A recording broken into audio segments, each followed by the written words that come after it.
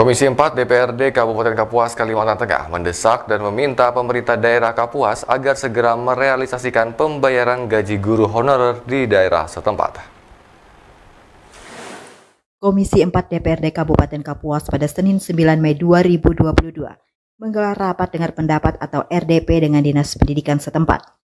Rapat yang dipimpin langsung oleh Ketua Komisi 4 DPRD Kapuas Sarkawi Sibu tersebut Salah satunya membahas terkait persoalan gaji guru honorer di wilayah daerah setempat yang belum dibayarkan.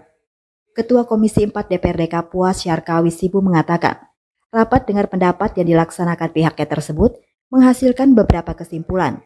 Salah satu kesimpulan rapat tersebut adalah bahwa Komisi 4 DPRD Kapuas mendesak dan meminta agar pemerintah daerah Kapuas segera merealisasikan pembayaran gaji guru honorer minimal sampai bulan Mei 2022 ini. Dari hasil kesepakatan tadi, kita mendesak dan meminta kepada pemerintah daerah untuk segera merealisir memberikan pembayaran gaji kepada teman-teman tenaga honor ini sampai bulan Mei lah minimal. Dan itu akan diupayakan ditindaklanjuti oleh Dinas Pendidikan secara teknis dengan berkoordinasi dengan Pak Bupati dan kita harapkan pada minggu keempat atau akhir bulan Mei ini bisa terrealisasi. Sementara itu, menanggapi hal tersebut Kepala Dinas Pendidikan Kapuas Haji Suwarno Muriat mengatakan bahwa pihaknya akan mengkoordinasikan dengan Bupati Kapuas, Sekda, dan tim anggaran pemerintah daerah agar nantinya anggaran yang belum tersedia untuk pembayaran gaji guru honorer pada tahun ini dapat dilakukan pergeseran pada tahun 2022.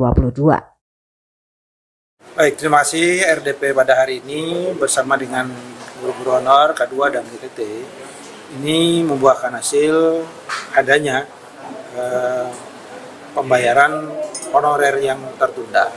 Sebetulnya kita di Dinas Pendidikan berkeinginan seperti itu, namun karena terkendala anggaran juga demikian sehingga dalam kesimpulannya kami Dinas Pendidikan akan berkoordinasi ke Bupati, Pak Sekda, dan TAPD agar nantinya apa yang belum tersedia anggarannya di tahun ini dilakukan pergeseran di tahun 2022. Dari Kabupaten Kapuas, Kalimantan Tengah, Irfan Syah melaporkan.